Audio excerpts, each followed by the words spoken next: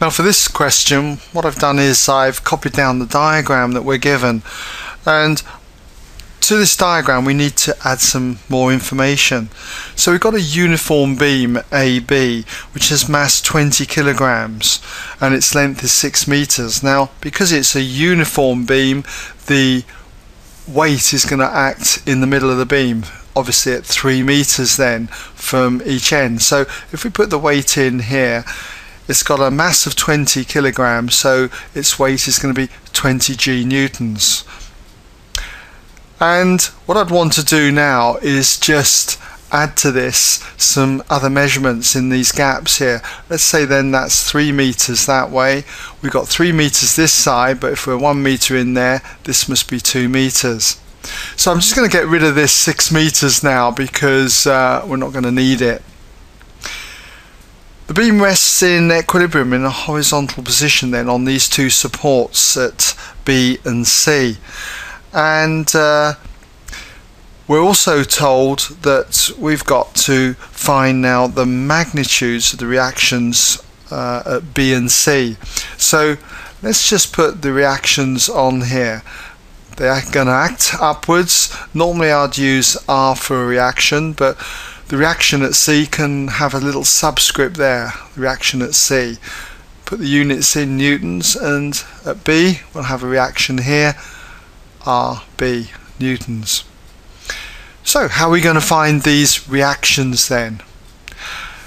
Well, first of all, what I'd want to do is take moments about a particular point. And it doesn't matter where you take moments, but I'm going to want to take moments say about either C or B because it will allow me to take out one of these variables here. If I take moments about C, RC will get, not be in the equation. It'll just have RB in, so I'll be able to solve it immediately for RB. And if I take moments about B, I'll be able to find out what RC is, because RB wouldn't be in that equation. So it doesn't really matter which one of these two points I take moments about. So I'm going to take moments about C first of all. So I'll put that in there, moments about C.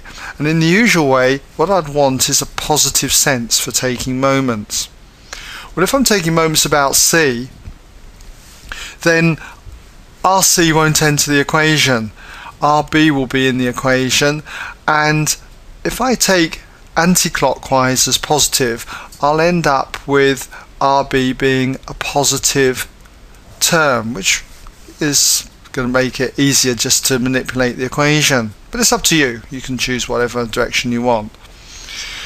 So when it comes to taking moments about C, remember the moment of a force about a point is the force multiplied by the perpendicular distance to the point that you're taking moments about. So when I push upwards at the point B, the rod is going to want to turn in an anti-clockwise sense about C. So we've got a positive moment there. Force is RB and we multiply it by the distance to C, which is 5 meters. So RB times 5. Then we've got to take into account the 20G newtons. That force wants to turn about C in a clockwise sense. So that's going to be negative. So we've got minus, the force is 20g and it's a distance of 2 meters away from the point C. So that's going to be multiplied by 2. As for the RC, as I say, it passes through C, so there's no turning effect about C. So this is the resultant moment and because it's in equilibrium the resultant turning force has to be zero. So from this equation now we've got one unknown RB we can solve it. So we've got 5RB here and minus 20g times 2 is minus 40g but if we add it to both sides we end up with equaling 40g. Divide both sides by 5 now and you've got RB equals 40g divided by 5 which is 8g. So RB is 8g. We've got a force of 8g newtons. Now we've got to find out what the other reaction is at C, RC. And to do this we've got several options.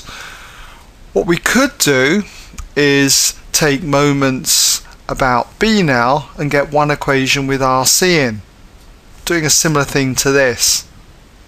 Or you could resolve upwards say and get a resolving equation where you could have two unknowns in it and then substitute this value in. I would personally take moments about B. I'll talk about the resolving equation in a moment, okay? But take moments about B and I would have clockwise as being the positive sense here. Why? Because RC, if I turn about B, RC is going to act in the positive sense. You don't have to choose clockwise as positive, you can do it negative, uh, um, anti-clockwise, but that's up to you. So what do we get if we do that? Well, we've got RC wants to turn about B in a clockwise sense. So we've got the force RC multiplied by the distance to B, which is 5 meters. So RC times 5. Then we've got the 20G about B. Well, that's going to want to turn in an anti-clockwise sense about B. So that's going to be minus, the force is 20G, multiplied by the distance to B, which is 3 meters. This force through B has no turning effect. So this is the resultant moment and it must equal zero because the rod AB is in equilibrium.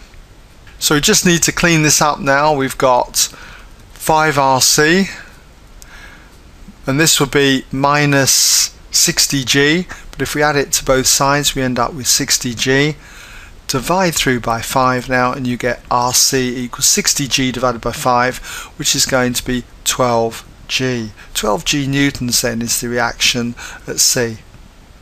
So I've got both of my answers. But I did say that you didn't have to take moments about B, you could have actually resolved if you wanted. Let's just run through what that would have given you. If you had resolved say upwards, the total resultant force upwards here is going to be RC plus RB RC plus RB because they both act in the positive sense. But then you've got the 20G which acts downwards in the negative sense. So that's going to be minus 20G this is the resultant force and because it's an equilibrium it's going to equal zero and what you could do is just have substituted your 8G into here and worked out what RC was from this equation. So if you had done that, you would have therefore had RC plus the RB of 8G, then minus the 20G equals 0. And obviously 8G minus 20G is going to be minus 12G, but if you add that to both sides, you end up with RC equaling 12G. 12g newtons. So that was an alternative way that you could have gone when you had found one of these forces. Just substitute it into this equation. Alright, so I hope that's given you some idea anyway of how you could have gone about that question.